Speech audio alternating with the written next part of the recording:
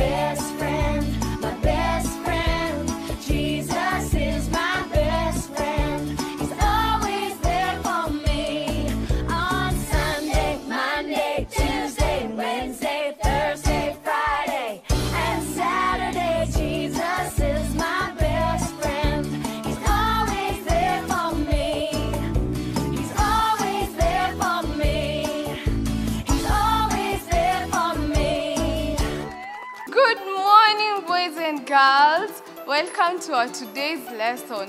Today, we are going to learn about the greatest commandment.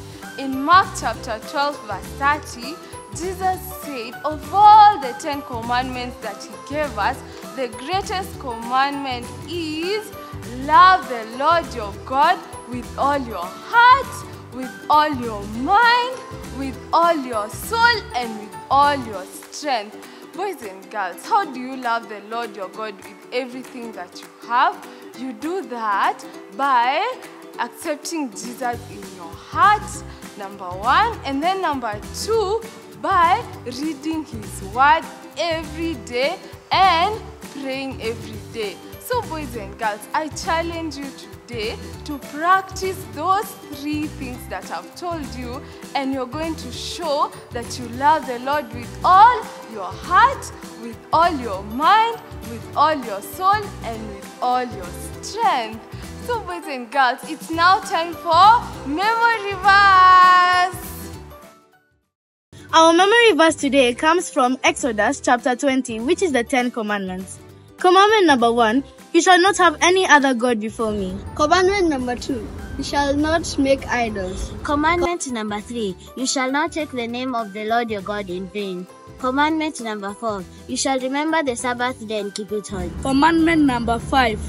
Hey, honor your mother and father. Commandment number six You shall not commit murder. Commandment number seven You shall not commit adultery.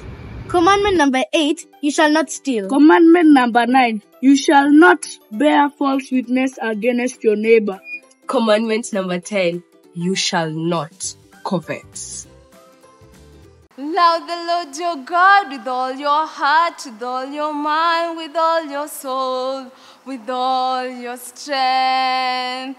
I hope, boys and girls, that you, memor- you memorize the memory verse and don't forget to love the Lord your God with all your heart, with all your mind, with all your soul, and with all your strength. It's now time for money for Jesus. Tell your mom, your dad, or anyone next to you to help you give money for Jesus. And now, boys and girls, let us pray and tell God to help us to love Him.